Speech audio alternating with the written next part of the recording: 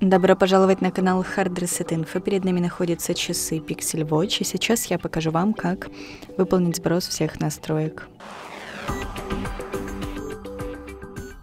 Итак, мы свайпаем вниз, открываем настройки. Здесь проходим в раздел «Система». Далее проходим вниз и выбираем «Отключение и сброс настроек». И нажимаем на галочку.